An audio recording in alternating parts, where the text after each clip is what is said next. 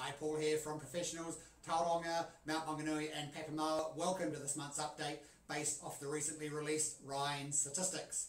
New Zealand median house price up 5.5% from August 2018 to $580,000. Take Auckland out of that equation, higher increase 9.5% year on year to 498,000.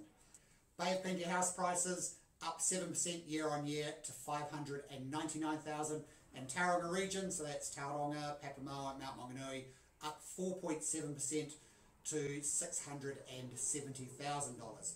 From a volume point of view, so New Zealand as a whole was actually down 6.9% year on year, but Bay of Plenty was up 7.7% compared to this time last year. So Bay of Plenty had the highest number of sales for an August over the last three years.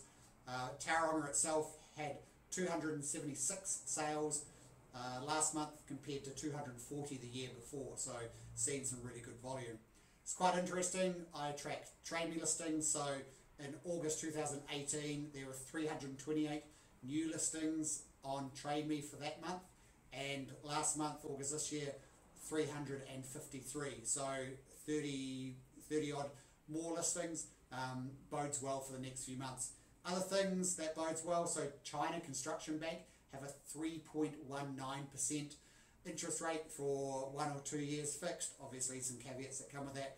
Most of the other main banks are around about 3.6%, so very cheap money. So especially from an investor's point of view and first home buyers, um, they'll maybe getting into the market more. Talked to a broker this morning, he goes a lot of the banks are reducing their stress test. So your stress test is is the bank's way of going, well, if interest rates go up, um, will the person we're lending money to still be able to pay? And they've reduced that down. I think it used to be around 7%. They've reduced that down a little bit. So potentially some of those people who were at the cusp of getting lending or not will now get lending. Definitely in spring, beautiful Bay of Plenty weekend and, and days as we are now and seeing a lot more property coming on the market, a lot more activity uh, there. As usual, if you'd like to hear anything more about the market, talk to someone specifically about your property or just real estate in general, please feel free, give one of the team a call. They always love to hear you and stick around.